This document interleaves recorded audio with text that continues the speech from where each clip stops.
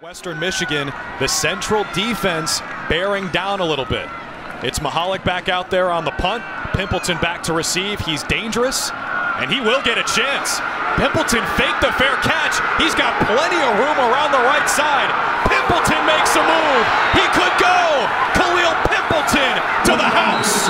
Central Michigan has life. Stop for Central Michigan. Richardson to throw, floats it left side. He's got Pimpleton, and he's got six. Another touchdown for Kalil Pimpleton, and the Chips are an extra point away from tying this game. It's the night for the Chips and their first punt return touchdown since Antonio Brown was playing for CMU. Nick Mihalic on the punt for Western Michigan. It is a good one. Pimpleton fields it inside his five. Look out. Here comes Pimpleton again. He's got a block, and he's got speed.